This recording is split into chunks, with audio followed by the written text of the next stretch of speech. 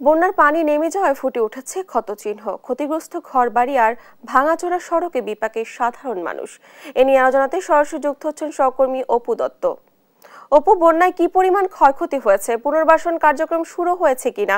এ নিয়ে কি তথ্য রয়েছে আপনার কাছে?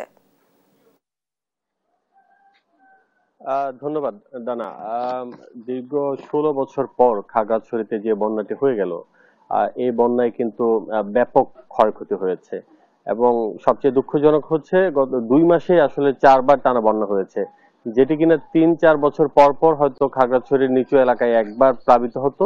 সেখানে দুই মাসে চারবার হওয়ায় এই এই এলাকার জনজীবন কিন্তু বিপর্যস্ত হয়ে উঠেছে। আমরা যতদূর জেনেছি, কৃষি বিভাগ বা অন্যান্য বিভাগ থেকে যতটুকু তথ্য পেয়েছি, প্রায় একশো কোটি টাকার মতো ক্ষয়ক্ষতি হয়েছে।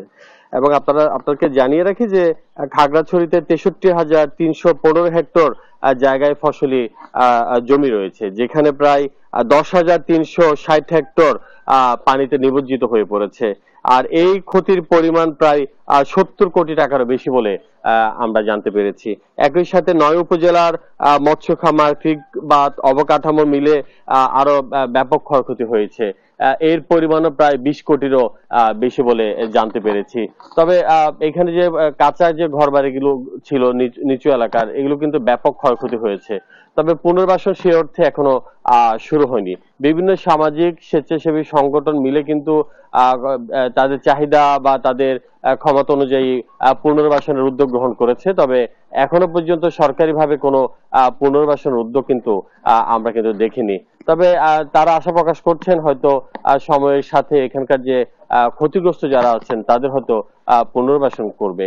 একই সাথে স্থানীয়রা একটি দাবি জানিয়েছেন যে, এখানকার যারা কৃষক আছেন, যাদের ব্যাপক ক্ষেত খামার ব্যাপক ক্ষতি হয়েছেন তাদের যদি বিশেষ কোনো প্রণোদনা দেওয়ার সুযোগ থাকে, তাহলে তারা আসলে আবার ঘুরে দাঁড়াতে পারবে। তো এই মুহূর্তে আসলে খাগড়াছড়ির এই ছিল সর্বশেষ বন্যার